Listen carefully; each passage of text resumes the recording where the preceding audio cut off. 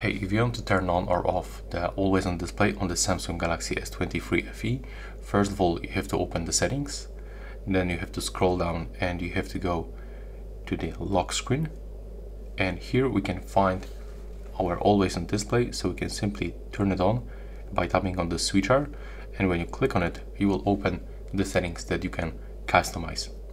So for example, if you want to show this always on display as always, just click right here.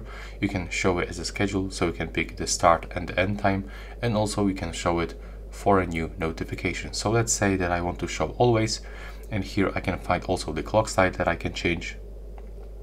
We can also go for the image clock if you want but I'm gonna stay with this simple clock like this one and I'm gonna change some caption colors.